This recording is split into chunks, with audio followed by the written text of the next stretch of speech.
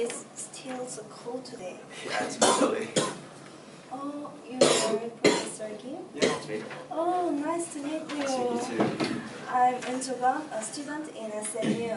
You major in cultural history, right? Yes, yes, yes. Oh, I love cultural history. so I made an art appreciation club in the high school to, to study cultural history through artworks. Oh, it's very interesting. Uh, it was very interesting whenever I, I found Korean traditional culture in genre paintings. So I want to study this field more in the graduate school. Um, may I talk about cultural history with you later? Oh yeah, absolutely, absolutely. Oh, thank you. So um, then I'll email you to the address to the address on ETL by this weekend. Yes, yes, that's that'll be fine. Fine. Oh, thank you. I'll contact you. Yes. Oh, it's my floor. Bye. See you later. Bye.